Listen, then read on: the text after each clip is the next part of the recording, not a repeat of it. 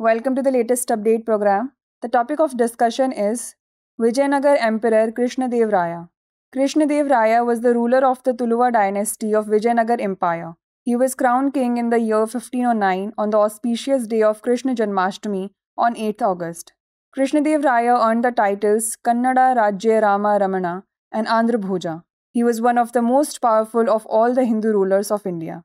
He embraced Hinduism, constructing the magnificent city of Vijayanagaram as a holy city for the worship of the Hindu gods, as well as the administrative center of his vast empire.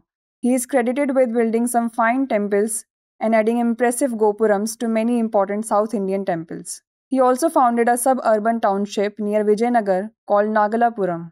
He composed a work on statecraft in Telugu known as the Amukta Malyada.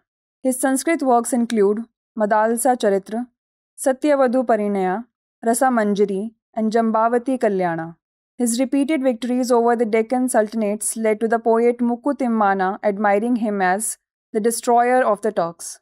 Portuguese travelers Domingo Paes and Duarte Barbosa visited his court and have left accounts of their experience there. He died on 17th October 1529.